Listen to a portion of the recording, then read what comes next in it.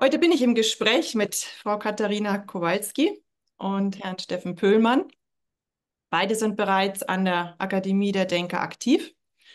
Frau Kowalski hat vor etwa zwei Jahren hier über Psychologie und Hypnose referiert und Herr Pöhlmann ist aktiver Teilnehmer unserer Akademie der Denker. Im kommenden Semester bieten beide zusammen ein Blogseminar zum Thema gesundes Menschenverständnis an haben. Ich habe vor guten zwei Jahren schon mal ähm, Vorlesung gehalten bei der Akademie der Denker. Da war der Hintergrund schon, dass ich einen Beitrag leisten möchte, ähm, dieses schlechte Image der Hypnose, was ja allgemein bekannt und üblich ist, zu minimieren, auch zu verdeutlichen, was kann Hypnose alles, was, ähm, welche Möglichkeiten stehen uns da eben offen.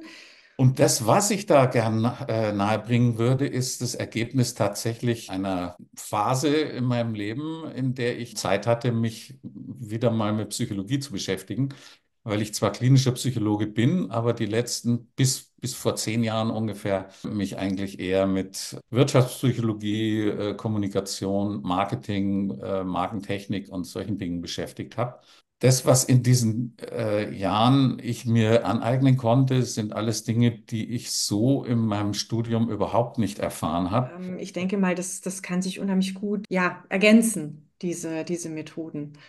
Ja, was unsere Teilnehmer ja immer besonders interessiert bei solchen aufeinanderfolgenden Terminen, ähm, was ist, wenn man jetzt ein oder zwei von euren Seminarterminen verpassen sollte?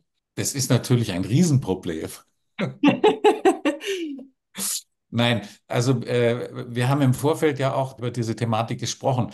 Ich werde versuchen, meinerseits da tatsächlich immer ganz kurz nochmal ins Gleis zu hieven und, und, und, und den Anschluss herzustellen für diejenigen, die eben letztendlich den Anschluss nicht hatten.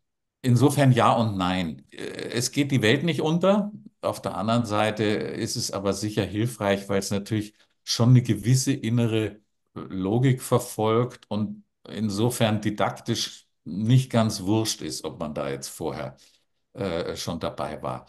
Das ist uns eben ganz wichtig, dass wir wirklich auch nah an den, an den Zuhörern sind. Und da, ich denke mal, da ergibt sich auch nochmal ganz vieles, was da eben in dieser Vorlesung einfach nochmal aufploppt, aufkommt, dass man da dann einfach nochmal direkt die Sachen eben ansprechen kann. Ja, ich freue mich drauf. Und damit ist natürlich auch die Frage zur Übrigung geführt, äh, weil immer wieder auch Teilnehmer fragen, ja, ich kann ja da nicht, äh, wird das aufgezeichnet? Ähm, ganz klares Nein in diesem Fall, denn da werden mit Sicherheit auch Inhalte besprochen werden oder ja thematisiert werden, die einfach äh, nicht für die Öffentlichkeit oder auch für andere, die das jetzt nicht direkt dabei sind, bestimmt sind. Das, ähm, denke ich, ist auch für jeden nachvollziehbar und verständlich. Wir freuen uns auf das Wintersemester. Herzlichen Dank.